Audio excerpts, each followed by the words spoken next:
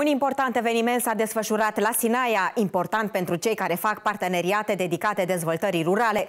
Reprezentanții Federației Naționale a grupurilor de acțiune locală s-au reunit pentru a stabili strategiile viitoare. S-au trecut în revistă mai mulți vectori importanți pentru bunul mers al galurilor, analiza exercițiului financiar 2013-2020, rapoartele de evaluare și alegerea președintelui care va conduce federația. Noul președinte este Alexandru Potor, fost secretar de stat în Ministerul Agriculturii MEADR, care acum revine în organizația unde, nu cu mult timp în urmă, chiar s-a implicat total. De remarcat faptul că Alexandru Potor are o relație mai mult decât preferențială cu puternicii birocrați de la Bruxelles. Galurile au reușit să demonstreze în perioada de programare 2014-2020 că sunt structuri, structuri de dezvoltare din ce în ce mai mature, că performează. Au reușit un nivel al implementării strategiilor foarte bun, sunt uh, câteva cifre îmbucurătoare. Încă de la sfârșitul anului 2018 am văzut că mai mult de 50% din um, anvelopa financiară aflată la dispoziție a fost deja contractată, deci banii uh, sunt puși la dispoziția beneficiarilor și undeva în jur de 75% din total uh, bani erau transformați în proiecte și depuși la AFIR pentru a fi uh, evaluați. Mai mult decât atât, 15% din uh, anvelopa financiară, și aici vorbim de aproape 500 milioane de euro, uh, au fost bani plătiți către beneficiari, s-au întors deja în, în, în economie.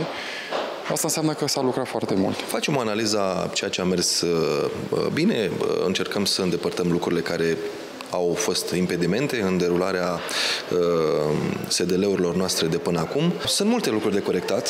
S-au corectat față de perioada 2007-2013. În această actuală programare am reușit și am îmbunătățit dialogul cu uh, partenerii noștri, aici mă refer la Ministerul Agriculturii, la AFIR și la alte entități cu care noi ne derulăm uh, uh, aceste strategii de dezvoltare locală. Uh, lucrurile sunt uh, ușor, ușor pe trend ascendent, aș putea spune. Încercăm să ne dăm seama ce am reușit din ce ne-am propus, să vedem următorii pași care trebuie să făcuți, către ce zonă ar trebui să ne îndreptăm și toate lucrurile astea trebuie să aibă la bază studii demografice, uh, sinteze făcute de către instituții specializate care să arate, să reflecte, dacă vreți, realitatea din teren, pentru că s-au făcut de foarte multe ori strategii pe hârtie și din birouri. Și nu s-au potrivit cu cele din teren. Exact. Sunt foarte încrezător că anul 2019 va fi pentru galuri unul de continuare a uh, discuțiilor cu teritoriul, de maturizarea proiectelor și în final de uh, atingere poate spre 100% a implementării proiectelor.